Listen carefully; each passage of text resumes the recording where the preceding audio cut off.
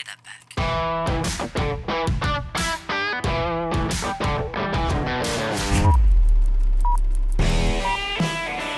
This past week on Ickonic.com, David breaks down the cannon fodder of war in this week's Dot Connector news show. The people who created that war, who decreed that war, who declared that war,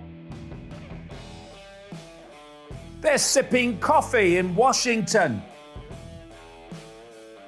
and Downing Street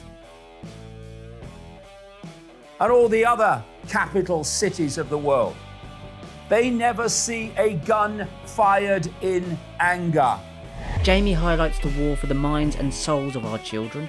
They don't want kids to grow up with wide eyes, questioning and adventurous minds. They want good little slaves who are too weak and emotionally traumatized to ever stand up and resist when tyranny becomes the norm. Those are the reasons for this continuing cycle of abuse of our children. It's coming from all angles, it's literally trying to destroy them.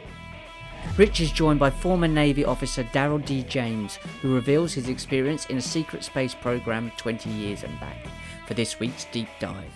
It was a reptile, and then I saw, um, all of a sudden, I saw like a Kino space kind of go like meld into it. It was almost like the, the uh, shapeshifter kind of thing that people talk about and everything like that. Leilani and Gareth cover the Ohio train crash, UFOs, spy balloons, and the Nord Stream pipeline on In the News right now.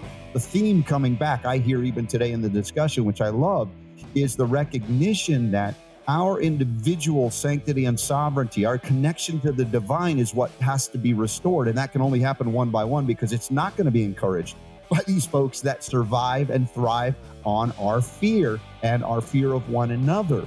On right now, Gareth sits down with his dad David for an in depth analysis of the cult's agenda today and the tricks that they play. You think with the timing of it, that it's a little bit of, about distraction as well, in the sense that you've got obviously the Epstein uh, client list was supposedly meant to be released, and then um, it's it's become apparent to anyone that didn't realise anyway that, that the Americans bombed Nord Stream, and so actually it's almost like quick, there's some aliens, look over there.